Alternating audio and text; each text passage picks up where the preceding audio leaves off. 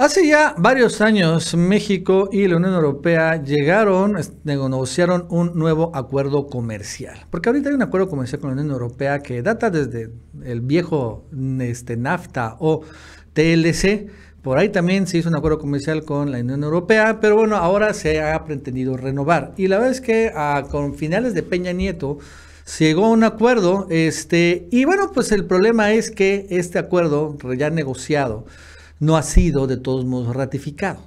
Este, y eso ha sido un problema porque los europeos, ¿no? después de llegar a este acuerdo comercial, empezaron a mandar enmiendas a este propio acuerdo y bueno, han empezado a poner algunas este, condiciones que no son muy benéficas para nuestros, nuestro país, como por ejemplo la obligatoriedad de nuestro país de adoptar eh, energías renovables, de abrir a este, las empresas privadas estos sectores estratégicos como el petróleo, el gas, el litio.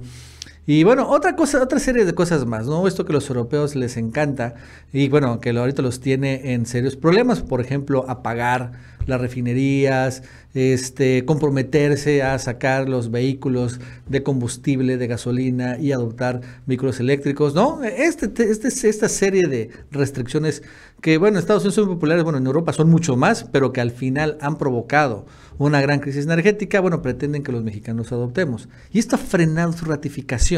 La es que aquí México no ha caminado, pero esto ha generado que los europeos estén muy desesperados, porque necesitan un tratado de libre comercio porque ellos ven cómo está aquí en México empezando el tema del nearshoring, empezando a activarse muy fuerte, como ahorita más recientemente con la eh, cumbre entre Biden, Trudeau y López Obrador, y bueno, con el, bueno, las nuevas estrategias de sustitución de importaciones chinas para que se hagan aquí en la región norteamericana, pues ellos quieren traer finalmente eh, eh, productos europeos aquí a nuestro país, precisamente para que se exporten a través del de TEMEC a los otros países, pero no pueden sin un tratado comercial.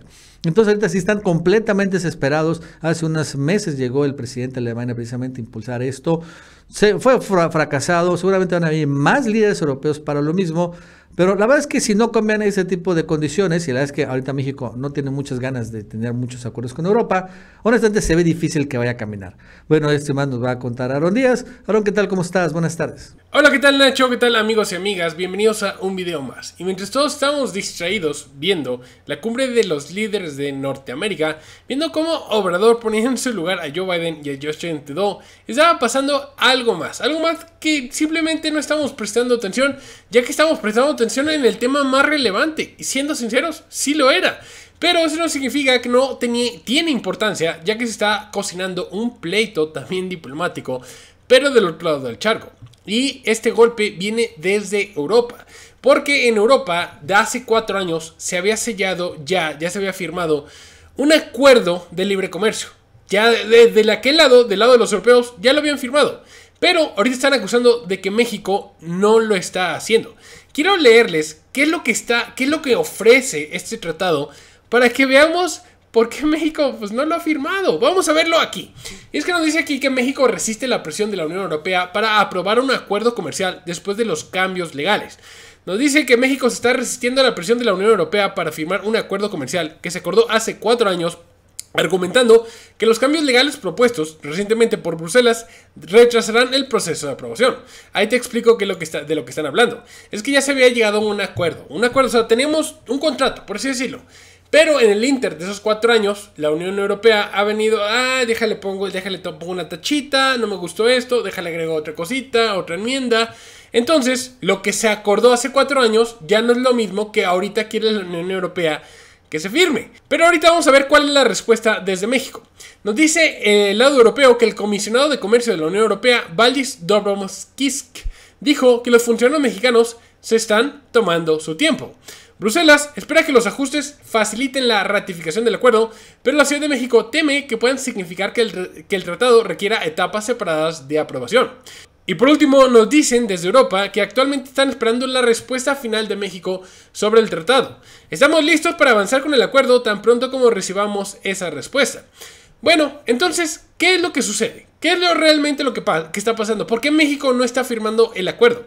Desde el lado de México, Héctor Vasconcelos está diciendo que México está negando que se esté retrasando el proyecto y dijo que estamos listos para rectificarlo en cualquier momento porque consideramos este asunto como cerrado. Pero no lo está haciendo. Sinceramente no lo está haciendo México. ¿Por qué no lo está haciendo México? Como le dije, primero que nada la Unión Europea se puso a coserle parches a su gusto. Entonces México en este punto tendría que empezar a ratificar el Tratado de Libre Comercio con la Unión Europea por partes. Simplemente porque así tiene que hacerse, ya que cada actualización de este tratado que la Unión Europea unilateralmente se puso a estarle agregando, pues México la tiene que estar viendo y ver si le conviene o no le conviene. Y lo segundo es que la Unión Europea le gusta imponerse, pero no le gusta que se impongan con ella. Porque México, una de las cosas que quiere que se aclare es que todo se vaya a, aprobar de un solo golpe. La Unión Europea lo que tiene es que, si por ejemplo lo firmamos ahorita, México lo firma, ya la Unión Europea podría empezar a exportar desde México. Ahorita vamos a ver qué va a exportar porque el Tratado de Libre Comercio con México es muy similar al de Chile y podemos adelantarnos y ver de qué trata. Pero lo que está buscando la Unión Europea es poder exportar y poder venirse a invertir aquí. Obviamente no son tontos, saben cómo está el tema del nearshoring, saben cómo México tiene acceso directo al, mercado de libre comercio entre Estados Unidos, Canadá y México, y además saben que es un hub comercial, pues esos europeos también quieren venir a invertir en México, o sea, no son tontos. Entonces en el Tratado de Libre Comercio le están exigiendo estas cosas, que tengan libertad de exportar productos de México, y ahorita les voy a enseñar cuáles son para que veas que no son nada tontos, y además también quieren el acceso a poder invertir, que tengan preferencia para invertir aquí en México. A cambio de sus euros, están pidiendo también que se cambien, o sea, nos están poniendo condiciones para que se respeten los derechos humanos. O sea, ya vemos para dónde va este tema, seguro. Seguro van a poner ahí el tema de los periodistas, de que, no digo, alguna cosa han de ponerle, ya no se le estén criticando los periodistas para que se respeten los derechos humanos. Pero lo que sí es que cuando México le dice, órale va, va, va, va, yo voy a respetar todo esto. Pero tú haz una cosa, quítame los aranceles de mis productos.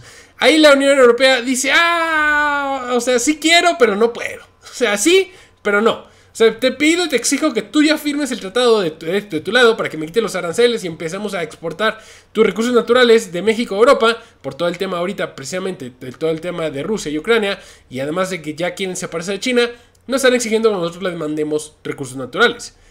Pero a cambio, ellos no están dispuestos a quitar aranceles. O sea, ¿qué clase de broma es esta?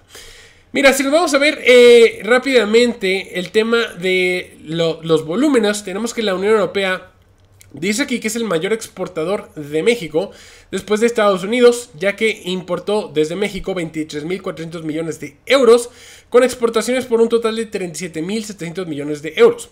Eso fue en el año 2021. Si me voy a ver la lista del 2021, Puedo ver, digo, no está como tal la Unión Europea, pero sí están, por ejemplo, países de la Unión Europea, Alemania, a México le exportó, a Alemania es el cuarto país que más nos compra, pero fuera de eso no tenemos de nuevo un país europeo hasta acá abajo, hasta Inglaterra.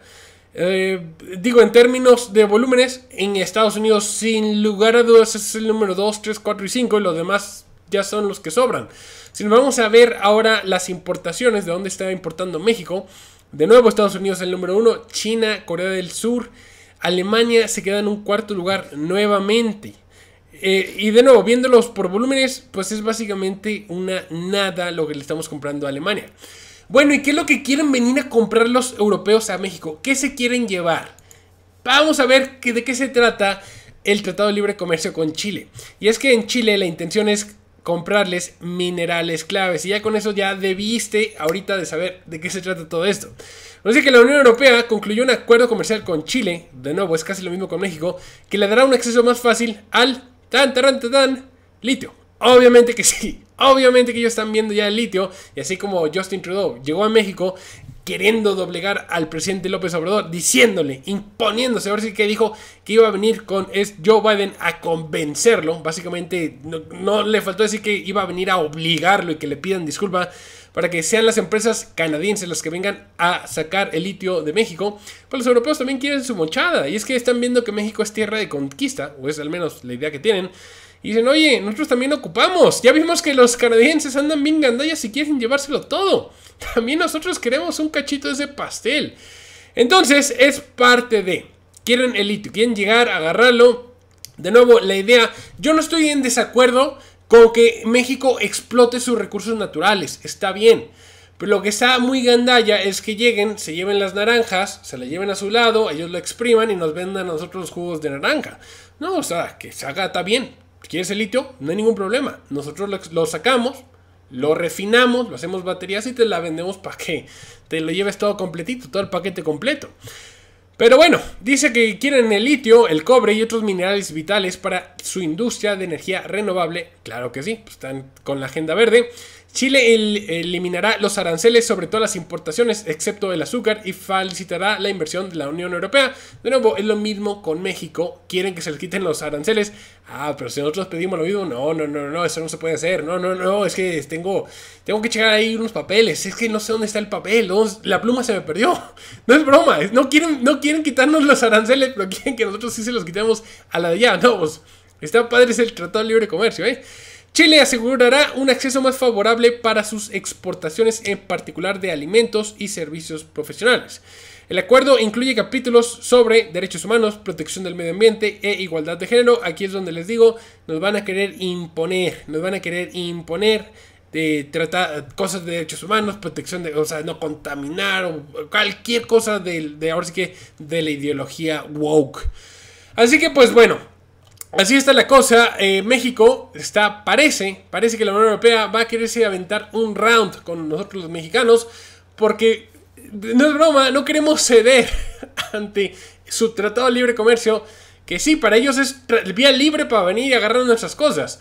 Pero si nosotros les decimos, oye, quita los aranceles, dicen, ah, no, eso no se puede. Todavía no, igual algún día se podría. Pero vamos a firmar ya. Pues bueno, cuando se quiten los aranceles, cuando sea trato justo, Ahí vemos, ahí vemos qué show, ahí vemos cómo se hace. O ustedes díganme qué opinan. México debería de agachar la cabeza y decirle, claro que sí, europeos, lo que ustedes digan, vengan si llévense todo el litio que quieran, no hay ningún problema. Sí, no, él me das lo que te sobre. Ustedes díganme su opinión. Los leo en los comentarios. Si les gustó el video, dejen un like, su comentario, compartan para que lleguemos a más personas. También los invito a suscribirse al canal si no están suscritos. Y seguirme en mi canal de YouTube llamando BitVenues si me quieren ver todos los días. Yo los veo el día de mañana, cuídense mucho. Bye.